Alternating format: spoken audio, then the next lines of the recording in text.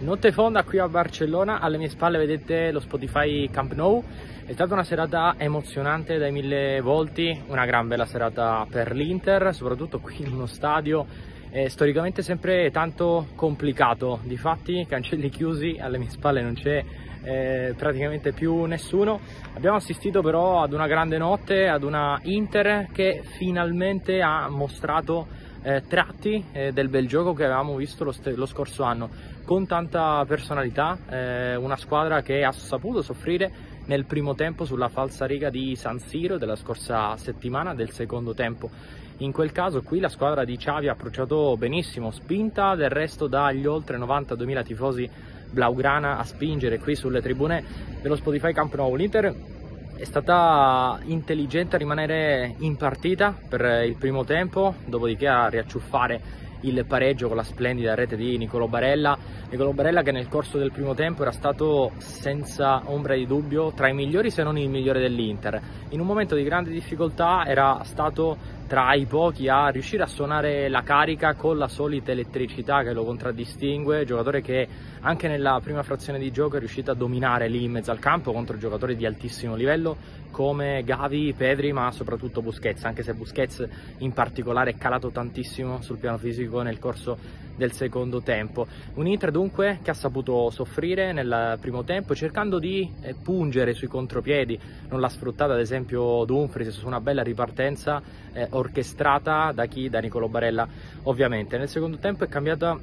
l'inerzia della partita è uscita fuori la personalità dell'Inter e lo si è visto soprattutto in un calciatore, in Acancia Lanoglu, che nel primo tempo si era limitato a difendere in, una, in, un Inter che ha dovuto quasi sempre difendere, baricentro molto basso. Nel secondo tempo, dal gol di Barella in avanti, è, cambiata, eh, è cambiato l'atteggiamento dell'Inter, è cambiato l'atteggiamento di Cialanoglu, che ha iniziato a fare la voce grossa in fase di possesso, ma anche in fase di non possesso. Ha fatto ancora una volta, come settimana scorsa, una partita molto muscolare di interdizione riuscendo a neutralizzare le giocate dei centrocampisti del Barcellona. Anche in questo caso è salito nel secondo livello confermando le impressioni di settimana scorsa cioè lui lì davanti alla difesa da play può giocare perché lo fa veramente veramente molto bene. Altre impressioni qui dal Camp Nou vi racconto qualche retroscena. La partita l'abbiamo raccontata poche ore fa nella lunghissima diretta con Lorenzo, Simone e tutti i nostri abbonati. Eh, tra le curiosità che sono rimaste impresse sicuramente l'atteggiamento di Onana, sempre lì pronto a suonare la carica,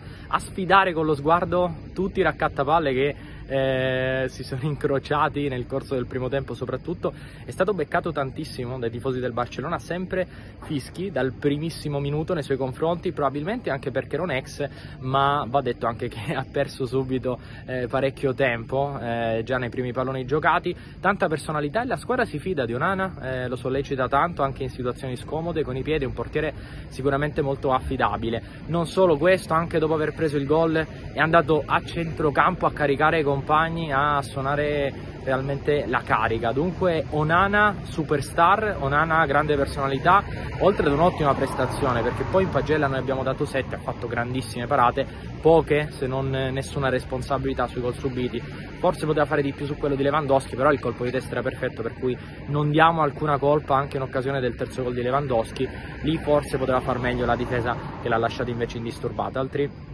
retroscena, eh, un Inzaghi furibondo eh, in occasione del gol sbagliato da Aslani, quella palla che Aslani avrebbe potuto giocare a Mkhitaryan, è stato egoista, ci sta ma si era capito che Aslani avrebbe calciato, aveva una voglia matta di segnare in una partita così importante, la più importante della sua carriera e sarebbe stato il gol più importante della sua giovanissima carriera, ricordiamo che è un classe 2002 quindi eh, ci ha provato però lì egoisticamente, ha ragionato egoisticamente, doveva essere più altruista e pensare al risultato perché l'Inter in caso di vittoria in caso di tre punti sarebbe andata direttamente agli ottavi di finale già questa sera di, in maniera aritmetica. Eh, discorso rinviato, il pareggio equivale quasi a una vittoria, ecco, quindi per Aslani ci sarà tempo, molto bene Bellanova, grande personalità, Inzaghi l'aveva buttato lì nella mischia, eravamo rimasti un po' perplessi al momento del cambio, però Inzaghi ha avuto ragione perché Bellanova ha fatto veramente tanto bene. Eh, altri, a, altre curiosità, eh, l'immagine, vi lascio la mia immagine della, della, serata di questi due giorni, la più bella in assoluto, forse anche la più commovente in assoluto della partita, il gol di Robin Gosens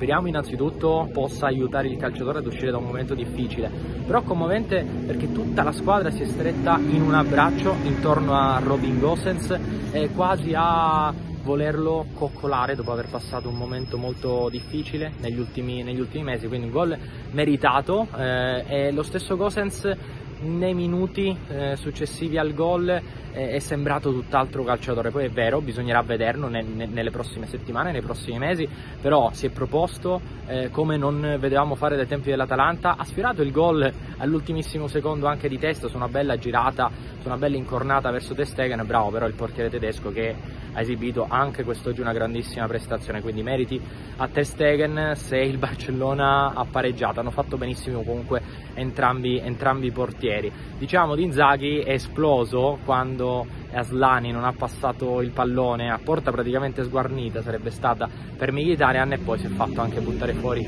per, eh, doppia, per doppia ammonizione. In generale comunque è stata una partita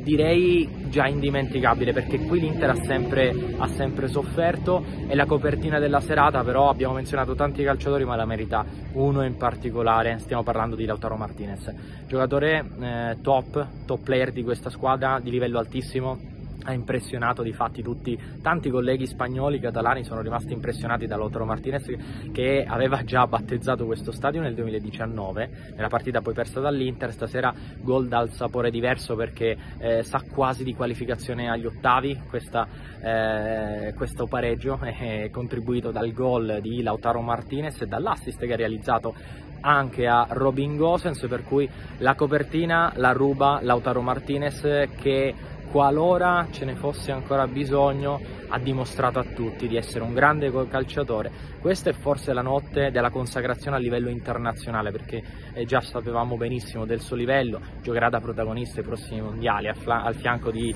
eh, Messi e di Maria, giocatori di altissimo livello e questa sera ha dimostrato a tutti di essere veramente il top player di questa Inter e di poter trascinare la squadra in attesa però dell'altra metà della Lula di Romero Lukaku che ha atteso eh, con molta probabilità tra i convocati per eh, il prossimo impegno in campionato domenica alle, alle 12.30 ma nel frattempo l'Inter si gode un grande Lautaro Martinez. È tutto qui dall'esterno dello stadio Spotify Camp Nou. Da Antonio Siracusano è stato un piacere e alla prossima. Buonanotte